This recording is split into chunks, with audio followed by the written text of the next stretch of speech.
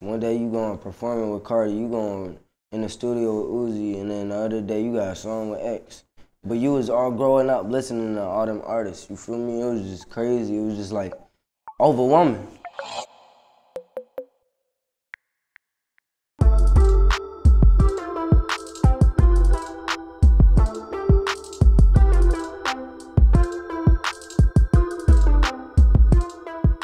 Yo, what's going on, guys? We're in LA right now and uh, chilling with the young legend right here, Yeah, sir. Matt Ox. We made it, man. Yeah, Oh, made it. Man, it's, uh, it's, it's been a, it's been cool because so I DM'd you a long time ago because I wanted to get an interview with you, and I guess you recently heard about us through uh, it was the Candy Paint interview. Yeah, probably. Word. Either that, yeah. I'm pretty sure actually, cause I was just working with Nirvana and stuff. So like, and then Candy Paint been the homie. You feel me? So I was just tapping in and seeing what he been on. You watch a lot of like interviews and stuff on YouTube, or like what kind of stuff I you mean, watch? bro, I make you the whole being. Bro, the reason I was like, all right, before I got a song with X, I was an X fan. You feel me? Like, like I was one, like that was one of my number one artists because he was just fire. But I actually got introduced to him. Not like I ain't like it. His one song, "Look at Me," Yeah. it was art, it was dope, but I ain't really get attached to it. You feel me? It was more the interview. The one with Adam. But Adam, yeah, and, and the way he just carried himself, it was just like a whole nother breed. You Yeah. feel me?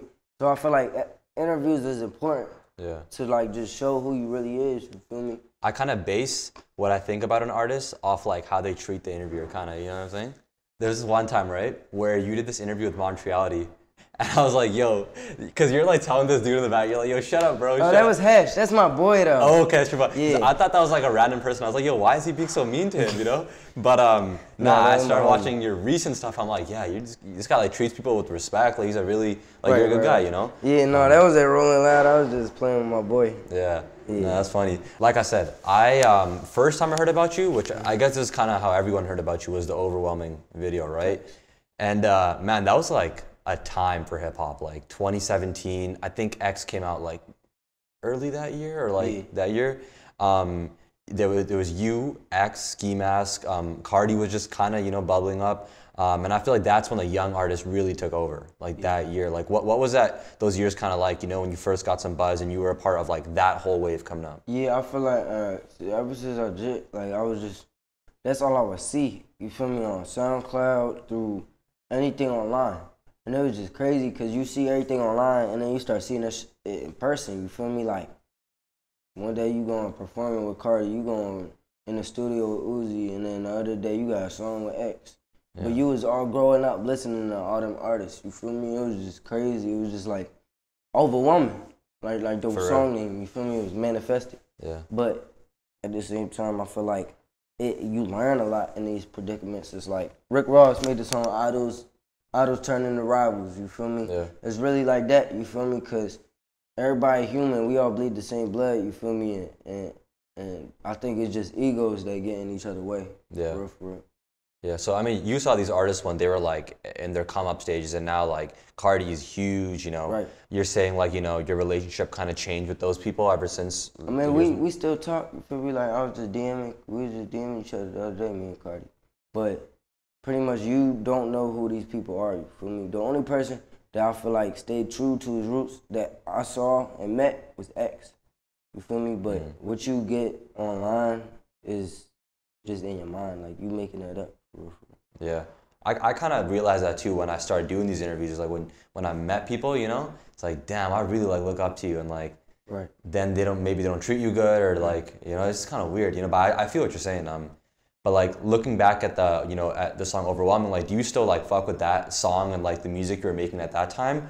I'm guessing no, or like no, I mean that song is so old. It's like, it's just like, all right.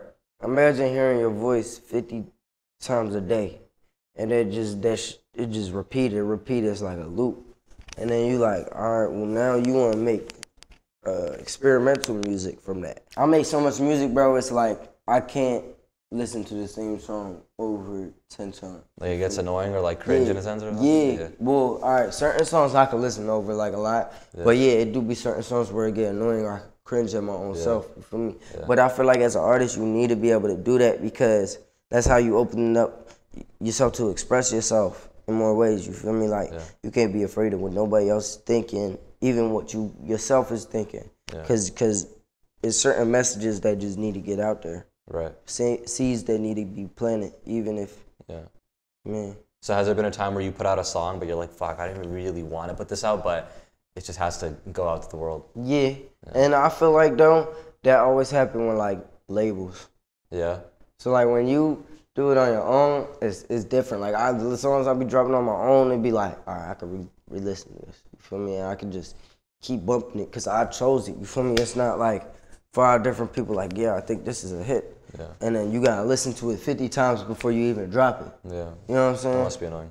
No, I feel you. Well, like I was watching, um, cause when I'm when I'm up late at night, I just watch like documentaries and shit. Right. So I was watching this like Justin Bieber documentary for his last album, Hmm. which was I think it was called Changes, and uh, he was talking about how difficult it was to just you know be famous while he was so young, right?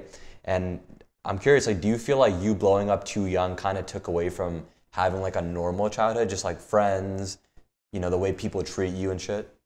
Yeah, I mean, you always see that because it's like everybody now is about clout, and especially in LA, you feel me? But everybody just clout chasing. Everybody want to be like the next person, you feel me? And and it's hard to find trust in those situations. You feel me? Everybody, everybody wants you for what's behind you, not what's in you. You feel me? You they only see the outside. They only see the cars. They only see the money. They don't see this, that, that and they think that's all it is, and they don't know how to deal with um, the reality of the situation.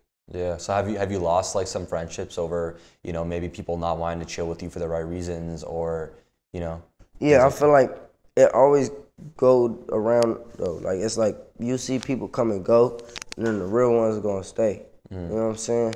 Like there's a lot of people that just be flimsy in a sense. You feel me? Just spiritually flimsy. like you know you know I was talking about the Montreality interview like around I think that was like 2017 Right. to like now like how do you really feel like you changed from there like I'm sure like a lot has happened obviously but just Yeah. like the type of person you are you feel like you changed and like what made you want to change I feel like, bro, you just learn stuff and you grow. You feel me? Like everybody else. You feel me? But on top of that, it's like I, I go through. Not saying I go through a lot, but like it's in more of a fast pace. It's like I'm doing this and I'm doing that. Now I gotta go do this, and then on top of that, I gotta go to school, and then I'm doing this. you're So, still in school yeah. what the hell It's online school. I'm 16, bro. like I thought you drop out from now like I mean, it's point. online school. Yeah. So it's like I can't drop out until I finish my drawing. uh-huh I mean, I might be able to, but I don't. I don't think like at I'm this point you're kind of too far into it you might as well Yeah, I might as well just get my my GID. You feel me? Yeah. What is it called? GED GED. I'm not from Canada I don't even know what that means but All right, but yeah, that you know, and then yeah, I feel like I want to actually learn in other aspects though. Like, like I'm into philosophy and all that type of stuff. You feel me? But Mhm. yeah, I don't feel like school teach that enough. yeah I feel like um Or I, it's yeah. not interesting. Yeah, like the way, the way they put it together. Like I don't know, school. There's a lot of things they could teach you. Like like even I was talking about with him. Like if they just taught you how to like like film like a video or like edit a video, that would be so valuable, yo. But I mean, I guess some schools you know have video production. You gotta wait till you like in college or something, Yeah. bro. And it's like by then you already could have learned how to do everything. It would be like just me watching videos and doing research and just like like how Russ be talking Yeah. or how anybody be talking. Like a lot of people be talking. You feel me? And they just giving hints. Yo, with Russ, like honestly, man, people are like mad hit on Russ, but No, he he snapping. yeah, he uh no, I actually I actually maybe I don't listen to all like his music a lot, but I do like watching his interviews. Yeah, that's what it is. Like I don't. It's not my type of music, but the way he just articulate and how he's not afraid to say certain things, Yeah. I respect that. You feel me? No, facts. I think, uh, man, I gotta give you your props on this because you kind of like switched up your entire style. You know, to. like it's it's much more aggressive, and you're taking way more risks. And me personally, like I can even if something like let's say something was trash, right? Even if someone took the risk of trying to be different, I was like, I'd be like, I appreciate that. You know, Right. it's not generic. Um, so I want I want to know about that. You know, like because like like pumped up for example, right? Like it's probably my favorite song by you recently. Collecting and checking D. Pump, I'm pumped up, making them jump. Huh, the dumb dumb, you don't know nothing. Huh, my songs are getting up. like what what made you want to like switch the entire style up I mean, bro, I freestyle all my music. Like every song you heard by me, Yeah. except for Overwhelming, was freestyle. Of them, and I wrote. Yeah. And then I freestyled the X hook, the the money sign song. Yeah. So then after that, I just started freestyling. I was just in my bag, like, no, I don't need to write. You feel me? But then pumped up, it's just like when you in that bag, like pumped up. What inspired me to make pumped up was like I was just just everybody was just saying like I'm a prodigy, and then and I was on philosophies, and then it was like all that stuff rhymed. Prophecy, yeah, yeah. Prodigy, yeah, you feel me? Yeah. All that. So I just put it all together. Ideology, you feel me? Yeah. It's like I think the lyrics are dope, but I think the best thing about it is the little voice changes you're doing. You know, oh, like Oh, yeah. just randomly changing it up, and it's like, who else is doing that? You know? Right. Yeah, I go. I like to go high pitch, low pitch. You Yeah. feel me? And just like make it like almost like it's saints and demons just rap it to you, and that's and make it like more fun and more intriguing and more Right. like what is that? You Yeah. feel me? Like It's like it makes you want to listen to the song from the start to the end rather than like, all right, it was cool, I heard it, and um, turn Mm-hmm. Right. it off, right? But uh, you made like this song. It was literally like the national anthem for Mars. I swear, uh, Revolution. oh yeah, yeah, facts. It was like all the comments were like, "Yo, like this is like aliens would fucking love this song." You know what I'm saying? Um, so I just yeah, I appreciate that you're, you're thinking outside the box. Like love. Yeah. have to. you you were talking about like you know how you still talk to Carti and stuff whatnot, um, and I just feel like you guys both had this kind of like punk like energy to both of you. So um, I'm just curious like what like what what was your thoughts on a Whole Lotta Red? I tell you, it was dope. You feel me? Like my boy, you know, F1lthy and Yeah, working on dying. They all produced on that, so I was I was happy for them. You feel me? Like Yeah. I was really dope seeing that. You feel me? Because I grew up from here on SoundCloud.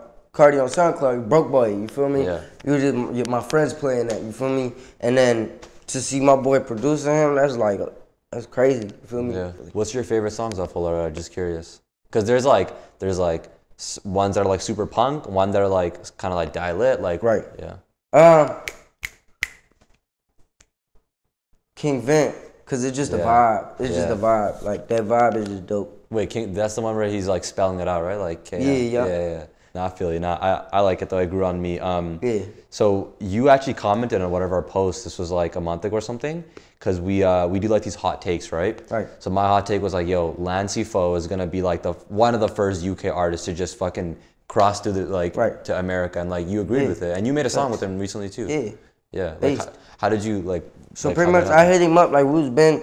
I saw he working with Filthy. Oh, okay. So he did a singing with working on dying, and I was like, he he also cool with my boy Quaddy, he cool with my boy Josh Star, all these people from Philly, and I'm like, bro, you from UK? How you know all these folks? You feel me? How does he know all of them? Exactly. You feel me? Like Bull got a whole person to shoot a scene in Philly to my video, and he knew the brand Amo Stilo that was always in Philly. I was like, Wait, so so he got someone to come to you and film you? Mhm. I thought you guys were in the same room. I was like, oh, no, we. Yeah. was- he's in London. I'm in Philly. yeah. I just thought like you guys were in the same studio. Like it, it- you guys made it look like it was all Oh like yeah, because we did the uh, green sc- with the green. Yeah. yeah, But yeah, Lancey a goat, man. Cause what he's doing, he's not trying to like be on no pedestal. Like, like we don't like a lot of rappers is trying to be on the pedestal, trying to be up here. Mm-hmm. He know like we idols, bro. We don't need to go try to be a crash dummy to go get a million streams mm-hmm. because it's gonna come anyways. You feel me? And, and mm-hmm. it's more of a legacy than a than a a moment of clout or Right. fame. You feel me? This is what I'm trying to leave. You feel me? A legacy. You feel Yeah. me? So I see that in him, and then Skepta too. You feel me? But but Lancey definitely the youngest. Who are some other new generation artists that you're kind of fucking with? Like SoFaygo, SSG Kobe. Like you heard of these guys? Oh yeah, I was talking to SSG Kobe. That's the bro. Yes. Um, that's the homie. Shout out him. Yeah. Um, bro, I've been really, I've been tapping in with the youth, bro. Kids taking over, bro. Yeah. I was just with um King last night. Ti son. Okay. Yeah, I put up King on him. We cooked up a hit, man. I gotta Yeah. play it for you. That Okay. we was snapping. You feel me? Yeah. But him, um, this young Prent- Prentice. I don't know if y'all know him. Prentice, uh, he's a kid. He been doing like Blink 182 type music, but he like 14, bro. Oh, shit. And he just raw. Like him, he hard. Yeah. Um, my boy Josh Star. Okay. You need to tap in with Ja Philly. So all that. That's fire. You feel me? Yeah. You heard of um, Ken Carson? I heard of him. He, Yeah. si- he signed Opium, like Word. Carti's label. Dope. Man, I'm telling you, there's like this new group of like young kids who are really like going crazy. Yeah. Um, yeah, I, uh, I, I w- I was watching your Adam 22 interview and he was asking you like, weird shit. He was like, "Yo, like you should collab with like Meg Thee Stallion, Billie Eilish, and stuff." But I want to actually ask you, like, you Yo, know, like, I DM'd Billie Eilish. She answered. no way. I swear to, bro. I swear to God, bro. What did she, you DM She didn't answer. I just said hi. Yeah. And she liked it. Oh, that counts, yeah. That counts, bro. Yeah. Come on. Yeah, but no, it's a big um, accomplishment. what you was saying? Just like, yeah, like who are some people you actually want to collaborate with? Like, you know, like, Mad, Madlib, Flying Okay. Lotus, uh, Griselda. I didn't expect you to say any of the names. But, Yeah, cause I'm just tapped in with that. Yeah. Like, I don't want to do no like. I feel like me, bro, is too new. It's too futuristic. Mm-hmm. So if I if I rock with all the new artists, it's gonna be too futuristic, bro. It's like it's like I gotta work with the old heads so I can bring them in the same wave. You feel Right, me? yeah. And just like. I really want to work with them for real, for real. Um, Griselda, Thun- Thundercat, dope. Uh, Brockhampton, Brock, Brockhampton snapping. Danny Wolf, I was talking to Danny. Oh wait, Danny Brown. I'm tripping. Yeah. I'm tripping. Danny Brown. I was talking to Danny Brown. Might have something coming up soon too. Yeah. Yeah. That's crazy. Yeah, it's a lot of like uh, older generation Yeah, style music. I didn't grew up on like Beastie Boys and like Yeah. oh like my uncle would show me a lot of stuff like that. So Yeah. like he would just show me new videos like rock to to production. Yeah, no, I think uh, myself as well. I love the newer generation music, but I did grow up with older brothers, so you know they would play like Lupe Fiasco and 50 Cent, Right. you know. So Facts. it's good to have both. It's good to have both, exactly. And then it's just creating something new. Yeah. You feel me? It's like that's all music is. Is is this listening whatever you listen to, you're just coming together. Yeah, well, yeah, I appreciate you you tapping in, man. Like I think this is uh, this is bound to happen. Like we had to do this. Um, but yeah, yo, this is Matt Ox. I was watching Kids Take Over. Yes, sir. All right. Yo, what's going on, guys? Thanks for watching that Matt Ox interview. Just want to say the time has finally come. Uh, you guys have been seeing me wear this T-shirt in a lot of content. I've been teasing it, and this week we're finally announcing the release date for it. Uh, I just want you guys to not miss out on these because I'm telling you, they will sell out. Um, we've been getting a lot of DMs about them, so follow our Instagram at Kids Takeover IG just to stay updated the moment it drops. Um, but yeah, that reminds me, I gotta give one of these to Matt as well. But yeah,